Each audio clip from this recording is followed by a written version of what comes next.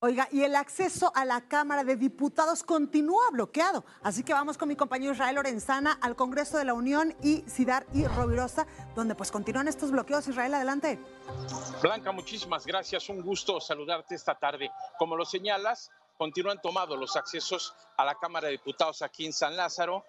vialidades como Congreso de la Unión, Cidar y Rovirosa y Emiliano Zapata continúan pues los accesos eh, totalmente cerrados, tanto a los vehículos como a las personas.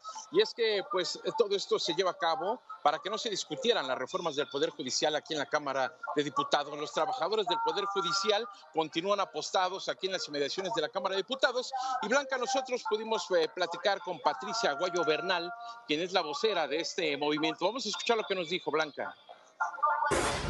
Sí, de hecho llegamos desde las 4 de la mañana a bloquear todos los accesos que están alrededor de la Cámara de Diputados, justamente con la pretensión de que los diputados no sesionen en esta sede. Sabemos que probablemente se vayan a una sede alterna, como ya lo anunció Ricardo Monreal, pero nosotros vamos a permanecer aquí. Se pueden ir a sesionar a donde ellos gusten, pero en San Lázaro no va a ocurrir. ¿Qué le manda a decir al Ejecutivo desde San Lázaro?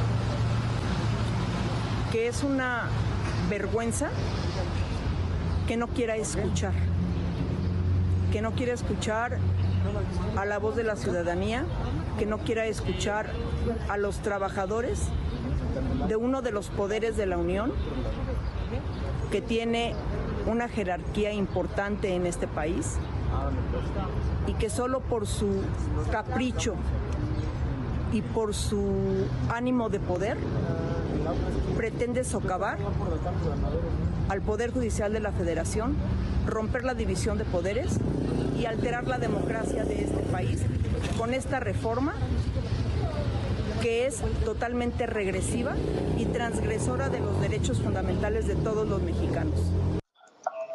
Pues Blanca, vialidades como Congreso de la Unión continúan cerradas, la avenida Ingeniero Eduardo Molina está funcionando sin ningún contratiempo y por supuesto Sidari Rovirosa y aquí en la calle de Zapata los, los accesos están totalmente limitados. Se tiene previsto, Blanca, que en unos minutos Patricia Aguayo dé un mensaje, por supuesto estaremos al, pendiente de lo que tenga que informar aquí desde la Cámara de Diputados en San Lázaro. Blanca Becerril, la información que yo te tengo esta tarde. Pues ahí lo tenemos, Israel Lorenzana, muchas gracias. Estamos al pendiente, buena tarde. Muy buena tarde.